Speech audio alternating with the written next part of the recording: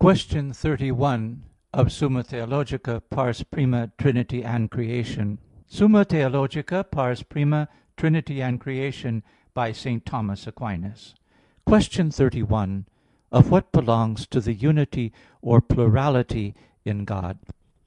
We now consider what belongs to the unity or plurality in God, which gives rise to four points of inquiry: (1) Concerning the word "Trinity"; (2) Whether we can say that the Son is other than the Father? (3) Whether an exclusive term, which seems to exclude otherness, can be joined to an essential name in God? (4) Whether it can be joined to a personal term? _______________________ FIRST ARTICLE [I, Q. 33, Art. 1] Whether There Is Trinity in God? Objection 1: It would seem that there is not trinity in God. For every name in God signifies substance or relation. But this name "Trinity" does not signify the substance, otherwise it would be predicated of each one of the persons; nor does it signify relation, for it does not express a name that refers to another. Therefore the word "Trinity" is not to be applied to God. Obj. 2: Further, this word "Trinity" is a collective term, since it signifies multitude. But such a word does not apply to God, as the unity of a collective name is the least of unities; whereas in God there exists the greatest possible unity. Therefore this word "Trinity" does not apply to God. Obj. 3: Further, every trine is threefold. But in God there is not triplicity, since triplicity is a kind of inequality. Therefore neither is there trinity in God. Obj. 4: Further, all that exists in God exists in the unity of the divine essence; because God is His own essence. Therefore, if trinity exists in God, it exists in the unity of the divine essence; and thus in God there would be three essential unities; which is heresy. Obj. 5: Further, in all that is said of God, the concrete is predicated of the abstract. For Deity is God, and Paternity is the Father. But the Trinity cannot be called trine; otherwise there would be nine realities in God; which of course is erroneous. Therefore the word "Trinity" is not to be applied of God. On the contrary, Athanasius says: "Unity in Trinity, and Trinity in unity is to be revered." I answer that, The name "Trinity" in God signifies the determinate number of persons. And so the plurality of persons in God requires that we should use the word "Trinity"; because what is indeterminately signified by plurality is signified by trinity in a determinate manner. Reply to Objection 1: In its etymological sense this word "Trinity" seems to signify the one essence of the three persons, according as trinity may mean trine unity. But in the strict meaning of the term, it rather signifies the number of persons of one essence; and on this account we cannot say that the Father is the Trinity, as He is not three persons. Yet it does not mean the relations themselves of the persons, but rather the number of persons related to each other; and hence it is that the word in itself does not express regard to another. Reply Obj. 2: Two things are implied in a collective term plurality of the supposita, and a unity of some kind of order. For people is a multitude of men comprehended under a certain order. In the first sense this word "Trinity" is like other collective words; but in the second sense it differs from them, because in the divine Trinity not only is there unity of order, but also with this there is unity of essence. Reply Obj. 3: Trinity is taken in an absolute sense, for it signifies the threefold number of persons. Triplicity signifies a proportion of inequality; for it is a species of unequal proportion, according to Boethius. Therefore in God there is not triplicity, but trinity. Reply Obj. 4: In the divine Trinity is to be understood both number and the persons numbered. So when we say "Trinity in unity," we do not place number in the unity of the essence, as if we meant three times one; but we place the persons numbered in the unity of nature, as the supposita of a nature are said to exist in that nature. On the other hand, we say "unity in Trinity," meaning that the nature is in its supposita.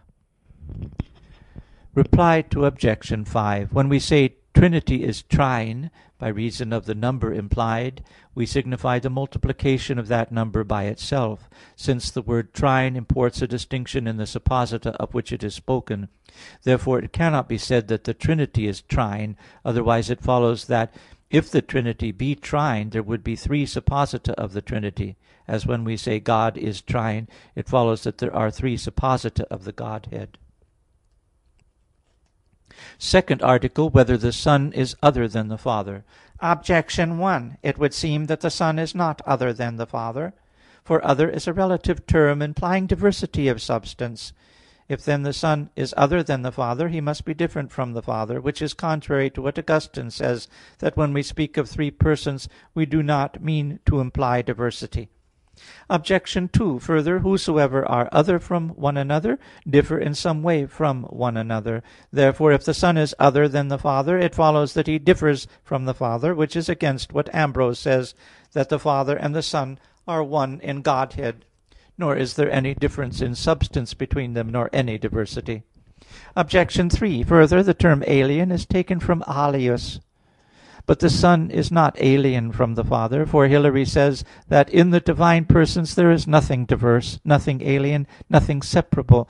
Therefore the Son is not other than the Father. Obj. 4: Further, the terms "other person" and "other thing" have the same meaning, differing only in gender. So if the Son is another person from the Father, it follows that the Son is a thing apart from the Father. On the contrary, Augustine says (De Trin. iv), "There is one essence of the Father and Son and Holy Ghost, in which the Father is not one thing, the Son another, and the Holy Ghost another; although the Father is one person, the Son another, and the Holy Ghost another."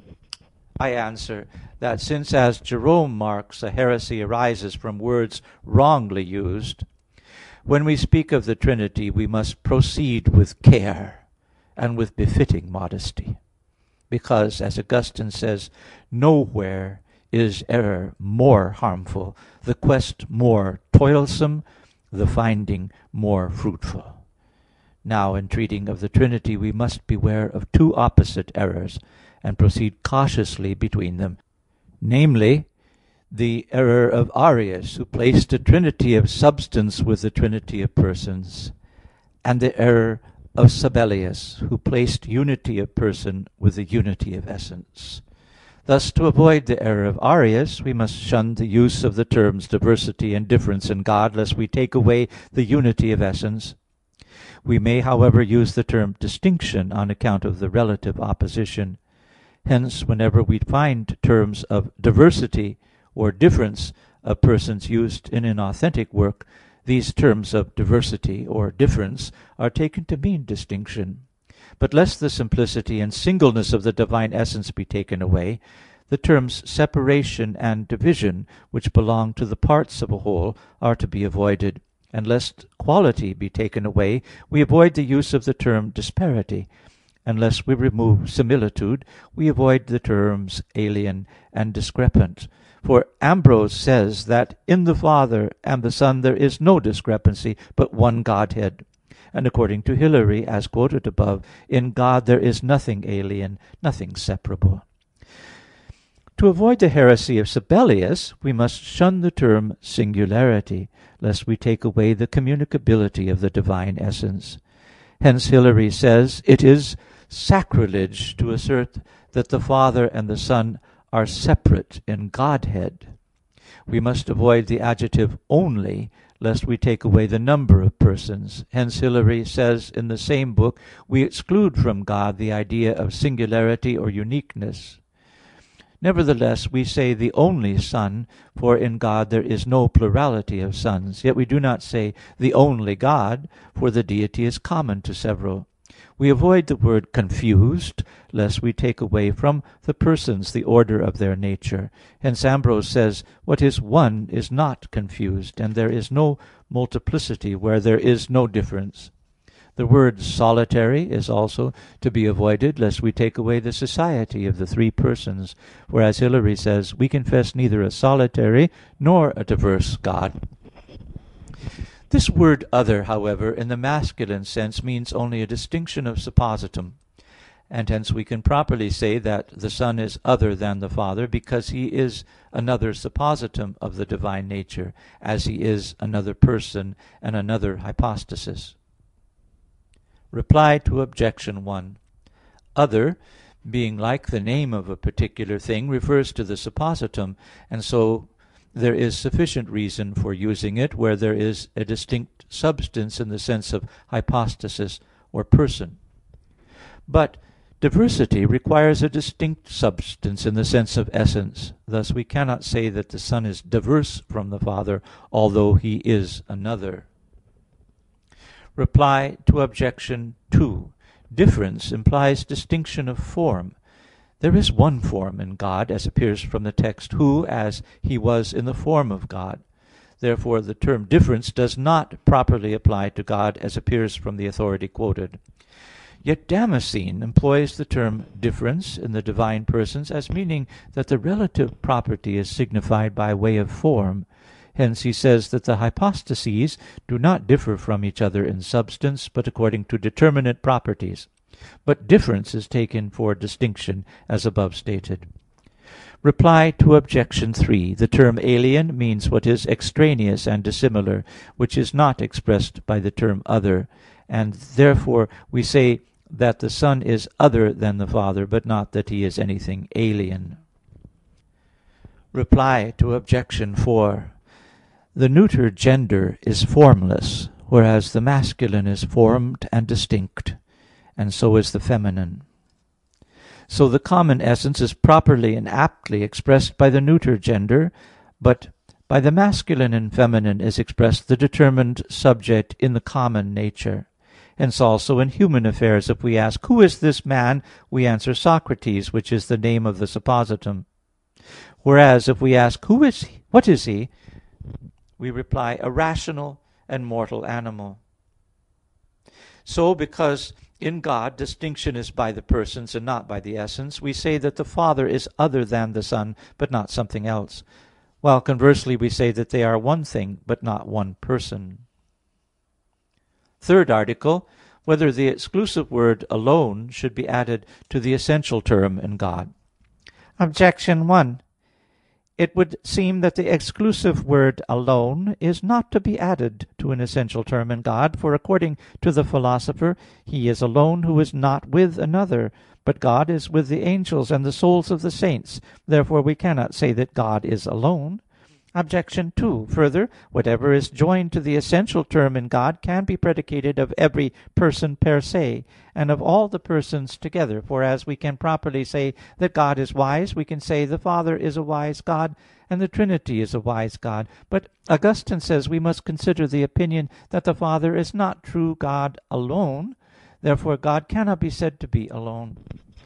And Obj. 3: Further, if this expression "alone" is joined to an essential term, it would be so joined as regards either the personal predicate or the essential predicate. But it cannot be the former, as it is false to say, "God alone is Father," since man also is father; nor again can it be applied as regards the latter. For if this saying were true, "God alone creates," it would follow that the Father alone creates, as whatever is said of God can be said of the Father. And it would be false, as the Son also creates. Therefore this expression "alone" cannot be joined to an essential term in God.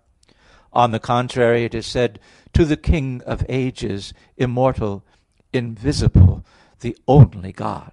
I answer that, This term "alone" can be taken as a categorematical term, or as a syncategorematical term. A categorematical term is one which ascribes absolutely its meaning to a given suppositum as, for instance, white to man, as when we say a white man. If the term "alone" is taken in this sense, it cannot in any way be joined to any term in God, for it would mean solitude in the term to which it is joined; and it would follow that God was solitary against what is above stated. A syncategorematical term imports the order of the predicate to the subject; as this expression, "every one," or "no one"; and likewise the term "alone," as excluding every other suppositum from the predicate. Thus when we say "Socrates alone writes," we do not mean that Socrates is solitary, but that he has no companion in writing. Though many others may be with him. In this way nothing prevents the term "alone" being joined to any essential term in God, as excluding the predicate from all things but God; as if we said God alone is eternal, because nothing but God is eternal. Reply Obj. 1: Although the angels and the souls of the saints are always with God, nevertheless, if plurality of persons did not exist in God, He would be alone or solitary. For solitude is not removed by association with anything that is extraneous in nature; thus anyone is said to be alone in a garden, though many plants and animals are with him in the garden. Likewise God would be alone or solitary, though angels and men were with Him, supposing that several persons were not within Him. Therefore the society of angels and of souls does not take away absolute solitude from God; much less does it remove respective solitude in reference to a predicate. Reply Obj. 2: This expression "alone," properly speaking, does not affect the predicate, which is taken formally, for it refers to the suppositum, as excluding any other suppositum from the one which it qualifies.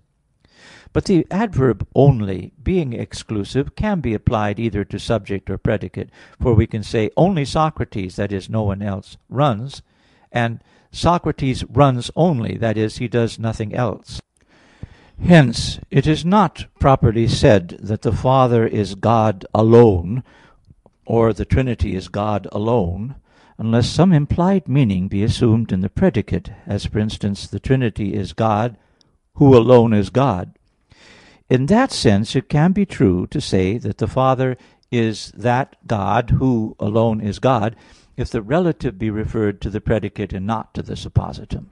So when Augustine says that the Father is not God alone, but that the Trinity is God alone, he speaks expositively, as he might explain the words, "To the King of ages, invisible, the only God," as applying not to the Father, but to the Trinity alone. Reply Obj. 3: In both ways can the term "alone" be joined to an essential term.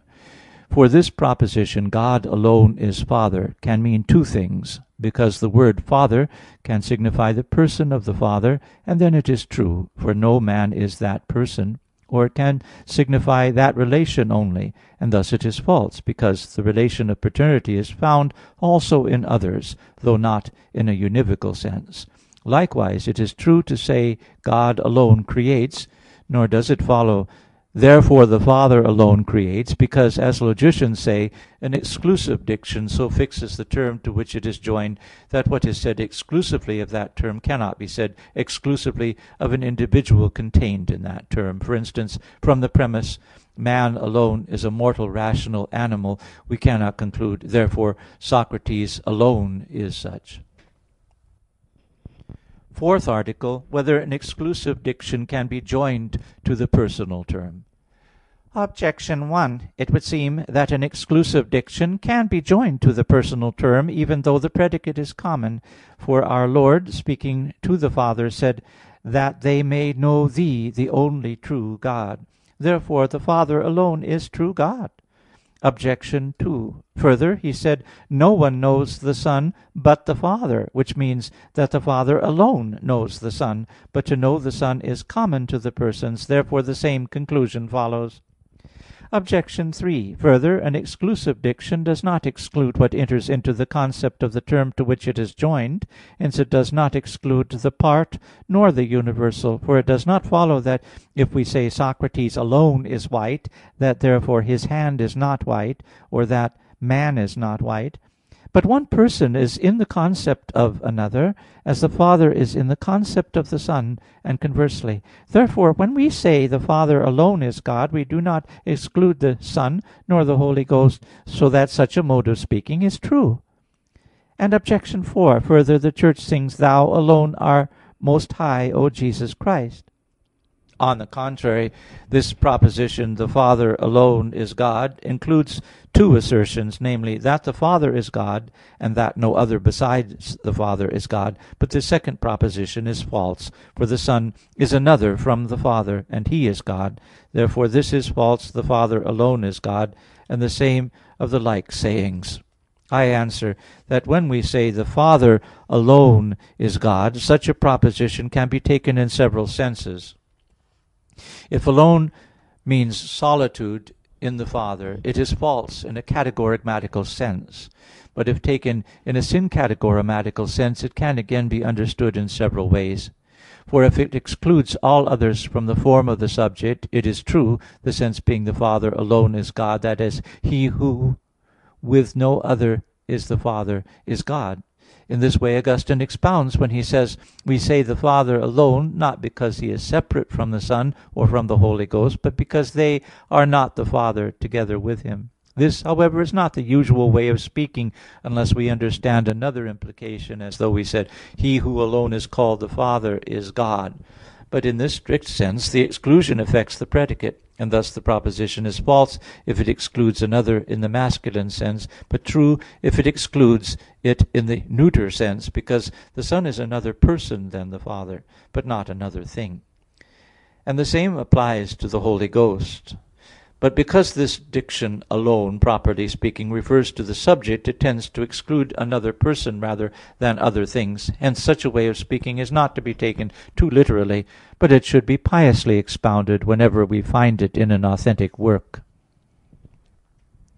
Reply Obj. 1: When we say "the, the only true God," we do not understand it as referring to the person of the Father, but to the whole Trinity, as Augustine expounds. Or, if we understood of the person of the Father, the other persons are not excluded by reason of the unity of essence, in so far as the word only excludes another thing, as above explained. The same reply can be given to Objection 2. For an essential term applied to the Father does not exclude the Son or the Holy Ghost, by reason of the unity of essence. Hence we must understand that in the text quoted the term "no one" is not the same as "no man," which the word itself would seem to signify, for the person of the Father could not be excepted.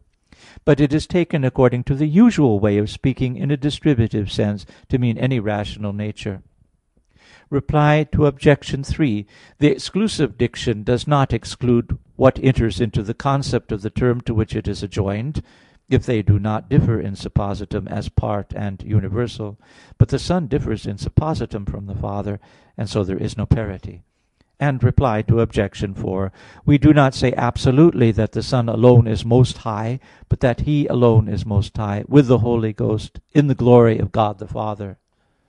The end of Question 31.